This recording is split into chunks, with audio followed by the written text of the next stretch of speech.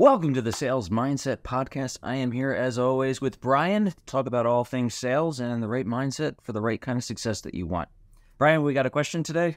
Amen. Yeah. So today the topic is actually a pretty pretty simple one. The age old saying, "Practice makes perfect." Mm, How would Okay. you apply that to sales? absolutely. So, I've been reading a book, and I can't remember the title. I guess I should put it in the show notes.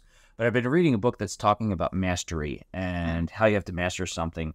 And it really fits in with grit, which is a topic that Angela Duckworth has done a substantial amount of research on. And grit has been identified as this thing, this personality trait, if you will, that is key to success for anyone, whether they're in sales, whether they're in anything else. Hmm. And it's the same thing. It's about practicing and it's about doing things regularly.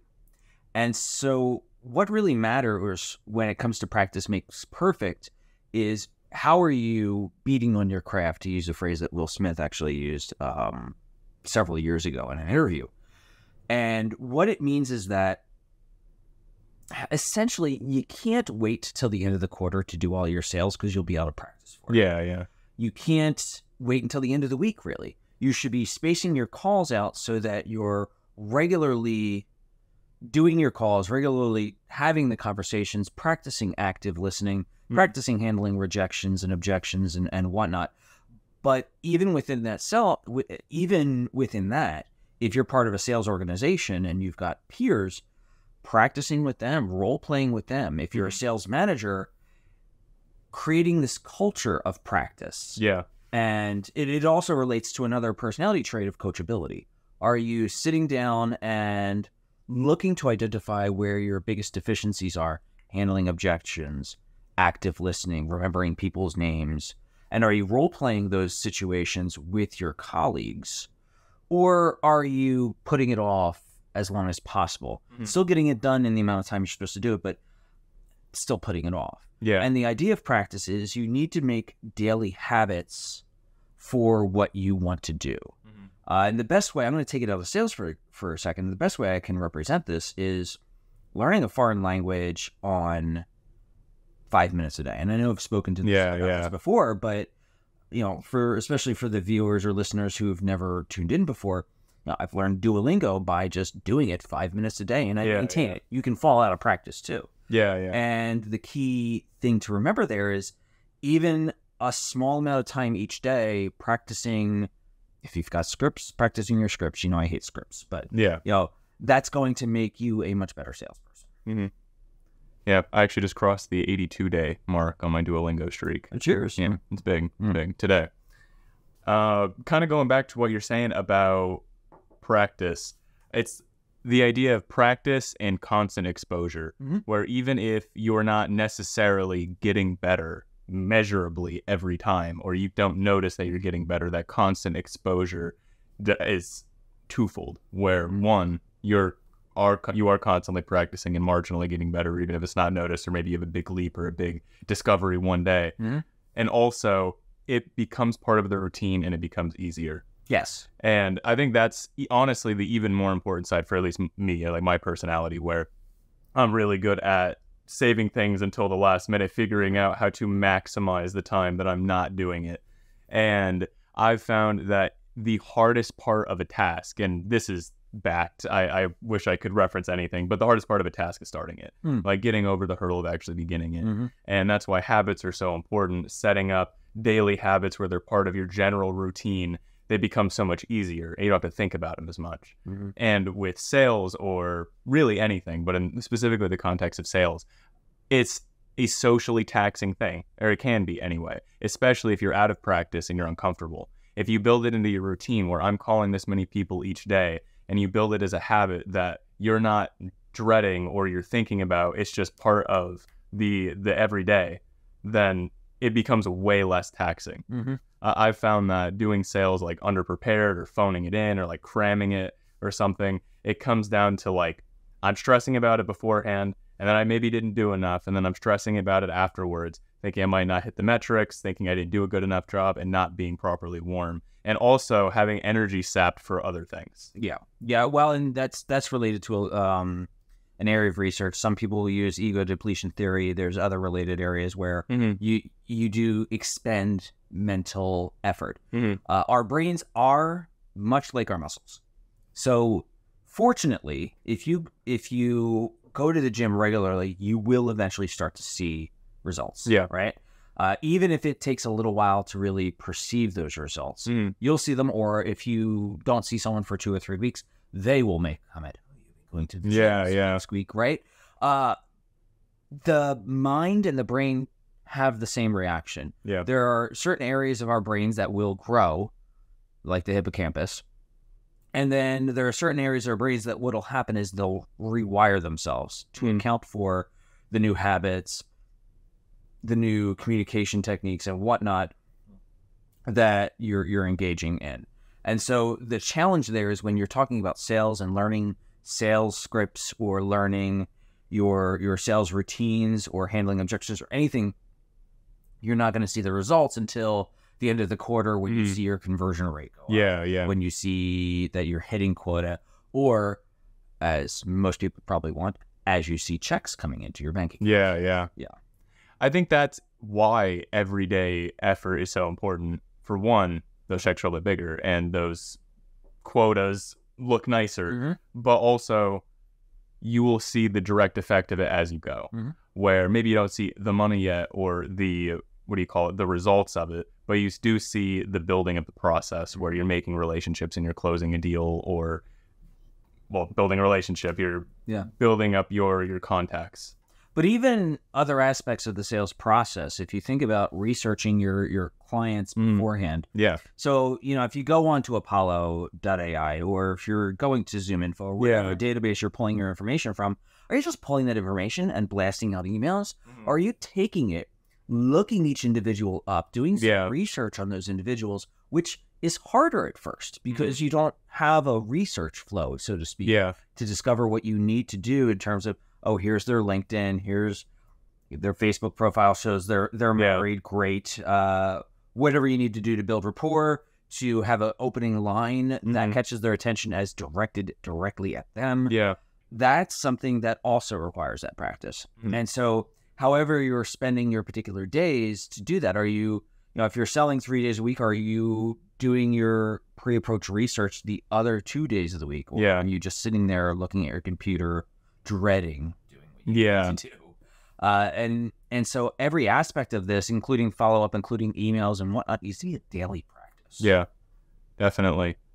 I think that one thing that I struggle with is I find that, or instinctually, I think the research and prospecting part is less important Hmm. just by instinct or like less fruitful.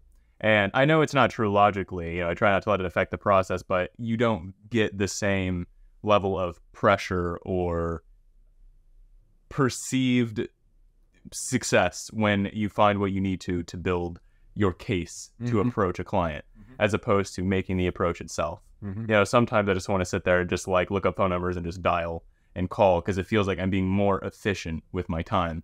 Mm. And I think another that's another part of the daily practice and being patient and watching things develop. If you trust yourself in the process of however you distribute it, whether you do uh, like you broke down two days and three days, or Mhm. you split your days in half Mhm. for how you do it. If you stick to a process, you can feel as though you're building everything congruently. Yeah and it can be hard, especially if, if like, why am I doing this research? Why am I Yeah, yeah, looking up these these nuanced things that are just that no one seems to be responding to because Yeah. it takes time before you're going to get those hits. Mhm. Um, and it can be can be very challenging. It's, and it's also pieces of the process don't don't seem to be necessarily related. I'm going to go back to that fitness, the the fitness metaphor, if you will, again, yeah, and the idea of well, abs are made in the kitchen, not in the gym yeah, yeah, and that's that's the real hard one. I'm I'm just feeling this hunger all the time Mhm. instead of okay, I know that this this hunger is artificial in some cases. Yeah. I'm just programmed to eating at certain times and programmed to eating more than maybe I need to eat, as most of us are. Um, and so that that's a challenge. Mm. Uh, something I've been recently getting through too, as I try to lose the uh, the um, the little spare tire yeah. as it as it goes. But uh, same thing in sales. There's a lot of seemingly unrelated processes in sales that can that can be frustrating. Yeah. That uh, you're you want to get through, and you just want to understand that uh, or trust that it's part of that process. Yeah. I think that is why it's so neglected is that neglected is that it's a less glamorous part of the process. And sometimes it does feel pointless, like you Mhm. said, where why do I need to know if they're married? Like, what does that Mhm. change? Or why do I need to know this? And sometimes there is one specific thing that you can connect to, like, oh, they went to the same university as me, Yeah. or they play a sport that I also play.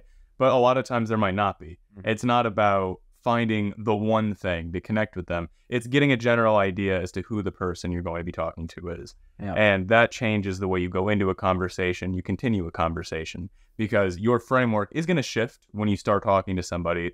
But sales is about making friends, it's making friends the job, yeah. theoretically. And and you're doing that to establish the trust, Yeah. so that you can push on them. Mm-hmm. Because I I want to, you know, I'm thinking challenger as you said that. Yeah. right? The challenger approach, understanding that you're going to need to push clients into discomfort sometimes to see that they need to change. They're not going to do that for someone who they don't trust Yeah. and that they don't know. Yeah. Yeah, there's- and nothing more awkward than saying, "So, are you married?" to someone who just got a divorce. Yeah. Yeah. So sometimes there's some value to going out there Mm. and getting a little stalkery on people. Yeah, sure. And it kind of it does kind of feel like stalking sometimes when you start tearing apart their their personal life. But the minute that you set the meeting, they're going to be doing the same thing, Hmm. assuming they're in, act- actively interested in the sale and they maybe want to make something happen. They're going to say, "What is Kanaz? Who is this person? Yeah, yeah. Who's Brian? Who's yeah." I, I'm going to look into this. So clean up your social media, yeah. folks. and having just a general idea. You don't need to go and you know dig on the dark web for who they are, but have an idea of who you're sitting down and talking to. Yeah, it's the same thing when you go to someone's office. Yeah. You know, in old traditional sales, if they weren't inside sales and you weren't on the phone, you're going to go in their office. You're going to look around. You're going to say, oh, I see a wedding picture. They must be married. I Yeah. see pictures of them at the golf course. They must like golf. Or if you walked into my office, you would see pictures from when I was in triathlon. So Mhm. that's that's something that if someone's like, oh, I see this, that must mean that. Yeah. Um, and you know what you're doing, and again, this is all part of the process. We're just you know talking about getting practice and doing that. Is assessing their personality as well. Is this person, you know, um, you know, I I obviously like DISC, and so is this person a dominant personality? Yeah. And am I going to have to be quick and to the point and goal oriented with them, Mhm. or are they? a more of an I, and based on their social media, based on what I see in their office, am I Yeah. to be able to have a quick conversation and at the same time manage that rapport so that Mhm. they don't waste my time and the time meeting time yeah. by just gabbing it up Mhm. with me. So uh, there's all sorts of things, and you want to really just assess that personality. There's even some AI tool, Crystal Knows, I think is what it's called, that you can buy that will a lot basically skim someone's LinkedIn profile Mhm. and give you an idea as to where they sit on the DISC, Oh, really? That's kind of that's kind of crazy. which, which can help you construct the right kind of email to them. Yeah. Again, that's that's another thing that's practice. How do I construct an email for someone that's going to appeal? Yeah. that's going to speak to their types of personality. hmm Wow, I didn't even know about that. AI's crazy. It is. It is, and it's been around for at least four years now. Oh, really? So this is this is nothing new. Yeah. It's fairly accurate at really assessing where someone might stand Yeah. on uh, the DISC profile. We should try to remember to link that in the chat Wow. or, yeah, or, or the the description. Yeah. I think that one thing that can kind of slip away is considering your own DISC profile when you go into a sale. Mhm. Where, at least the way that I see it, is if you're there to build a relationship and establish a rapport, make a connection, you can't just go in and morph your personality to fit and talk to a person uh, for your own gain. I, and I think that is something that is misunderstood about salespeople, whether it be from the outside of sales or or uh, amateur salespeople, where I'm going to be who I need to be to close the sale, or I'm going to go in and build this relationship, or I'm going to get them to do this thing. While what you're saying is skim their LinkedIn with AI or with your own eye and determine who they are. Yeah. Yeah. with your own eye, get an idea of who they are, and then know who you are as well, so you can have a conversation with them. Where Yeah, no, so, uh, sorry, I didn't. I was just thinking, and um, yeah, you want to be authentic, yeah, is what you're saying. yeah, and for me, like I think everybody has different elements of their personality. Like I, I can be very like monotone and direct about things, but also I'm a pretty social person. So if you have an idea that somebody is a little bit more outgoing and sociable and you go into it, it's like, yo, let's channel kind of more that side of the personality and just have a fun conversation where we build rapport and get to know the person. Mm-hmm. Or if it's more of a dominant personality type, you know, kind of maybe use your strengths in that area to have a conversation. Like consider what you can actually do to make friends with that person. I, I agree with most of what you're saying, but you have to have some caution and make sure that you're respecting the type of personality that you're dealing with. Mhm. So, you know, if if they are a D, a lot of people, if you're dealing with someone who's Yeah. purchasing, they're probably high D. But if they are a high D, you want to make sure that you're not going too Yeah, yeah. with the I. If they are high C or high S, that's going to involve or inform, excuse me, probably some of the questions they Mhm. would necessarily ask. It might not affect the rapport so much Yeah. but down the line, what matters to them is definitely going to be affected by that. You know, if they're not, if they're very uh, compliant, if they're very stable, that makes them very risk averse, Mm. then obviously you're going to need to speak to that, especially when you're presenting stuff. Yeah, yeah. That makes sense. So it's uh you're the writer and the client is the director.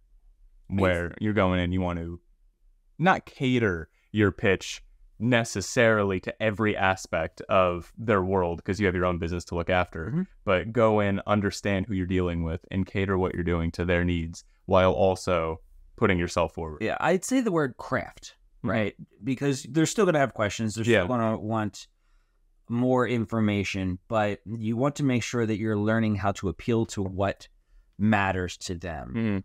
Oh, high D, goal oriented. High S or C could be risk aversion. High Yeah. I might care more about how they're perceived. Yeah. As an example, and then and goes much deeper than that. So so don't uh, don't come at me in the comments of, uh, if, if they're like that's overly simplistic. It is Yeah. very overly simplistic.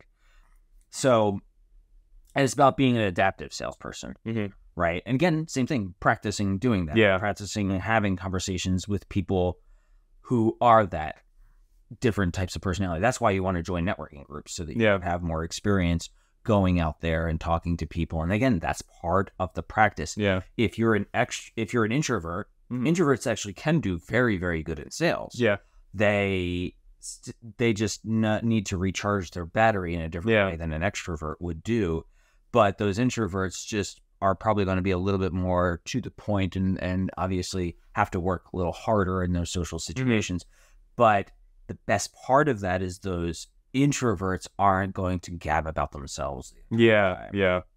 I think that's that's a it's a keynote that introverted doesn't mean shy per Mm, se. It doesn't it doesn't mean that you're going to go in and not know what to say. It's just the difference between being an actively social person and somebody who needs to recharge their batteries here and there after social situations. I I, heard the um, analogy or it was a metaphor where an extrovert. I don't remember who I heard. It might have been Simon Sinek, um, where he's saying that extroverts they start the day with so many coins, and then introverts um, start. The, extroverts start the day with no coins. Introverts start the day with a bunch of coins, and social interactions build the bank of the extrovert, while introverts will spend it throughout the day. Yes, exactly. And Yeah. um, that's related to what I talked about earlier with that ego depletion theory. Yeah. If you're an extrovert, you're recharging by being around people. Mm-hmm. I tend to lean more towards extroversion. Mhm. And so I if I'll go out to a bar or a coffee shop to work because just being around the people will recharge me or at least keep me at a base level. Yeah.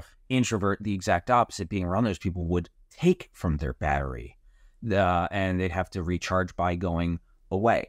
I I said I'd lean that way. I might be a little bit more ambivert at the end of the semester because I'm I have so much Yeah. contact. I actually need to take some time away Mhm. to recharge and that's that's that's again probably the fact that I, I can swing both ways in terms of extroversion and introversion Mhm. depending on where I happen to be in in my contact with other people. Sure. So, well, a little bit of a, a tangent at the end there. Yeah, yeah. Uh, and and I, you know I could probably go for a long time on personality and Yeah. sales, but the general point is that everything you do is is a practice and everything that you practice will eventually not necessarily make perfect but you will start to master certain aspects Yeah. of that and a piece of that is also that you have to put yourself in some areas of discomfort if you're not used to things. Hmm. And so go do it, go practice, make sure that you have a regular schedule when it comes to your your role plays, when it comes to your cold calls and your outreaches and in your research and you'll be successful. Any final Really? thoughts on that? No, well, to end on a on on, on a proverb, Mm-hmm. perf- perfection is a pursuit, not a destination. Absolutely. Absolutely. And that's a great way to end it. We'll catch you next time.